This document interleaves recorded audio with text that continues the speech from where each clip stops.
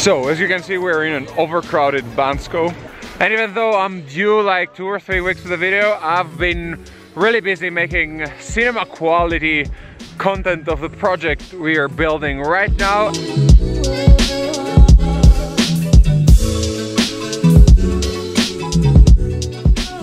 Anyway, since I'm up in the mountain after a long time, it's probably a full year since I last skied, I thought it would be nice if I made a video about five photography ideas on the snow.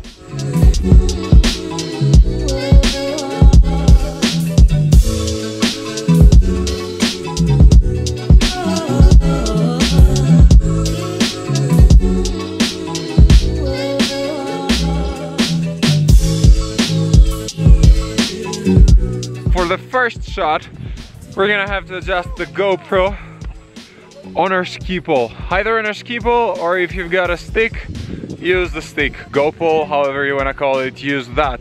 But I prefer the ski pole because I don't have to carry something extra with me. You should have something looking like this when you adjust it. And let's switch to the GoPro. And then either it's skiing or snowboarding, you're gonna keep the pole in front of you and you're gonna get a view like this.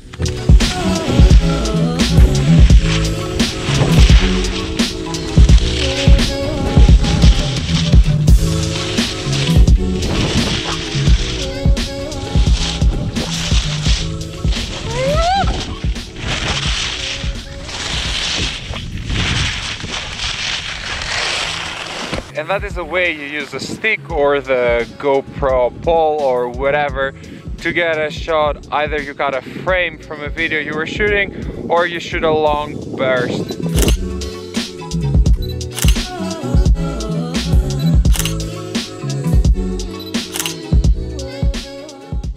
The second photo I'm gonna show you is also using the same technique with a pole, but this time I'm gonna be on the chairlift.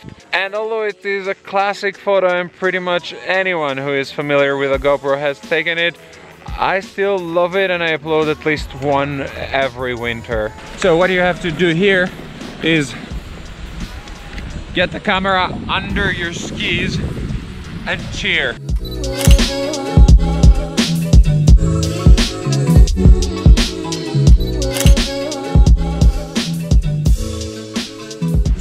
Think I got this.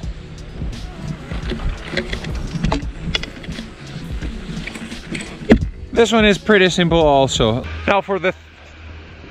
God damn it. For photo number three, I would suggest something as a scenery. You can never go wrong and there is always material to shoot. Just have something in the foreground, like a tree and some mountains in the background and you'll get something amazing.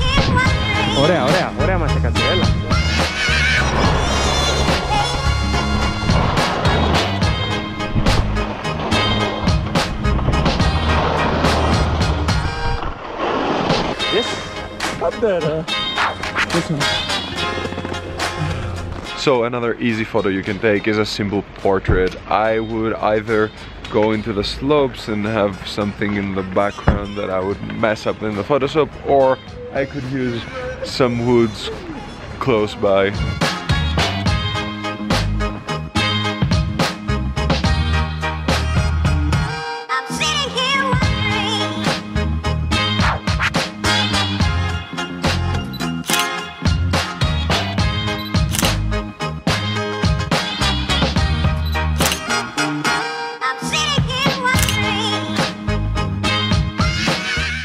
Like this close to the parking lot.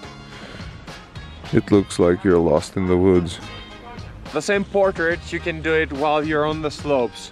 Just remember again to have the model facing towards the sun so you don't get weird black and blues on the face and have something as a deep background so the face should be in the foreground focused and something blurred on the background.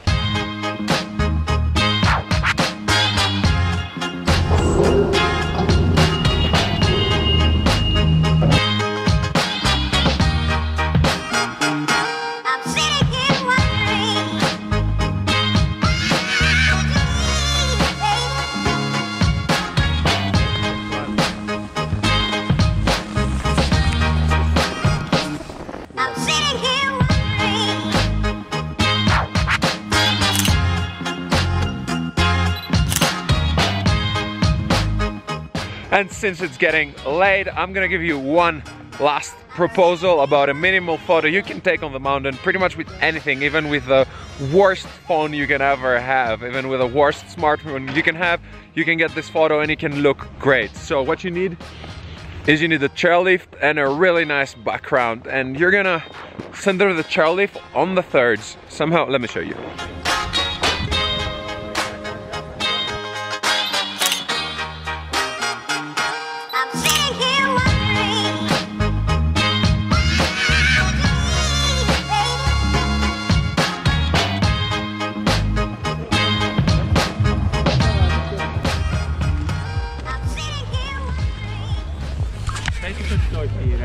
And that's a wrap from beautiful Bansko. I'll see you guys next time.